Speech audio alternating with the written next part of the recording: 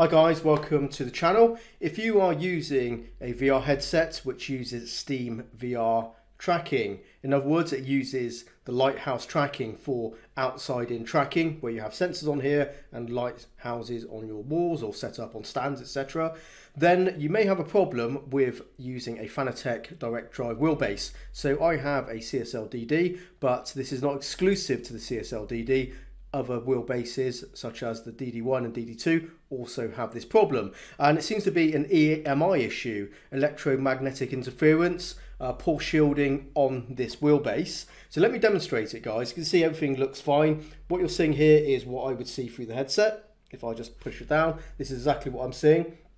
And it's all obviously looking fine. But if I touch it like so in various parts of this headset with just a single finger, it is going grey. And what's happening, the best of my knowledge, I can tell you guys, is um, what's happening is the interference when I touch it is now causing the tracking sensors on this headset to basically get be temporarily disabled each time I do this. And you can see I'm not obscuring any of the um, of the actual tracking things themselves. I'm just literally holding bits on the side, left and right. Um, there's bits I can hold on this headset which are absolutely fine, but if I go just basically around here, it will uh, kind of disable. And the same problem, I've discovered this with the Pimax as well, and that uses Steam VR uh, tracking as well with the lighthouses. Exactly the same problem, I touch it. In fact, the Pimax is even more sensitive to this. Um, and just let me demonstrate, guys, just to show you it is to do with this wheelbase. Um, I'm not sure if you can see the light on here, but it is on. So if we just disable it, turn it off effectively. And now I can do the same thing. I can put my hands all over this and it is absolutely fine until I absolutely do obscure the, the tracking. But as you can see here, I'm having no issues doing exactly the same thing. It is working absolutely fine. So let me turn it back on just to demonstrate it is the CSL DD.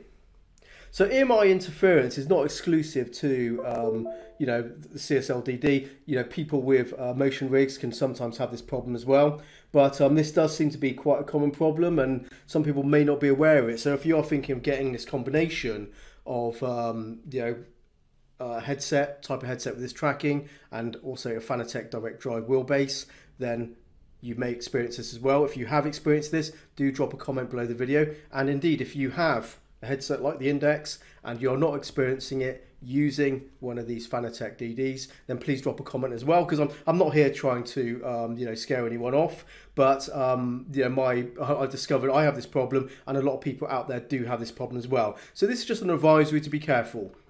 There is a potential fix for it, which I did try, but I have to say it did not work for me. But um, I will at least give you the information about it. There's also a link in the description to um, a uh, another YouTuber who actually shows it and also talks about it. And this is where I got this fix from using Toroids. Um, and there's also a link in the description to um, a, a thread on Reddit, which also goes into this. A lot of people are talking about it and also going through different fixes. So one of the main fixes is using these toroids. So this is my cable, which is suspended from the ceiling. And what you need to do is get this and actually go to the end of the cable um, out of this lead here and then just basically wrap it around a few times using two of these toroids. And hopefully what that can do, it, it basically can mitigate the interference. I have to say it did not work for me, but I know it has worked for a lot of people. Um, I've got two of these. I even used four, up to four, and it did not work. So that is an issue for me, guys. Uh, but the good news is it has worked for some people. And I'm going to bring out my Pimax now, and I'll show you the same problem, and I'll show you it does work with these, with the Pimax. Okay, so we have the Pimax on now, and you can see the red light is on, so the CSL DD is on. So let's do a test now.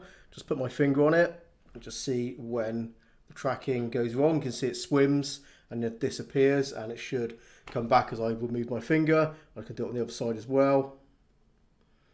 And it will basically do the same thing. So there you go, uh, same problem. We're having some interference from the direct drive wheelbase here. Um, okay, let's try and fix it. You can see this is the cable and we will wrap the toroids around here and see how we get on.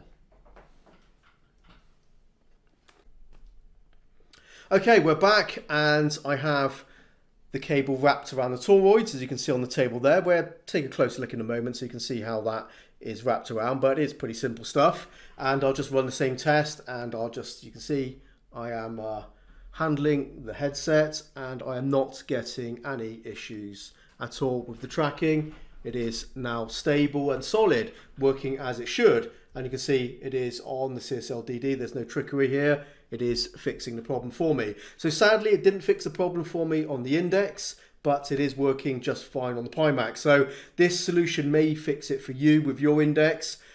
Check the description, guys. Look at those links. Look at the uh, uh, Reddit thread. There's more reading material out there for you if you are having this problem. And I guess it's a cautionary tale if you are going to uh, be getting a VR headset for sim racing and you are going to get a, maybe a DD from another brand because we know the Fanatec ones are susceptible to this. Uh, yeah, do your research just in case before you uh, before you kind of buy that combination just to be sure. Check with the um, the seller, of course. Um, but of course, yeah, this is a problem that seems to be um, very much. Commonplace with the Fanatec DD wheelbases. So CSL DD and the DD1 and DD2. That's the way it goes. Okay, let's take a closer look at the cables. I've used uh, cable ties to hold the two toroids together just for convenience, it's just neater, stops them smacking around. Um, you can see I have three wraps around these rings. Uh, simple enough, you go in and around, you know, and then out. Simple as that, guys nothing too special. Um, of course, you lose a little bit of cable length with this, but it is a fix, so you know it's it's worth doing. And you can see it's right at the end of the cable, so you can see where it connects to the PC.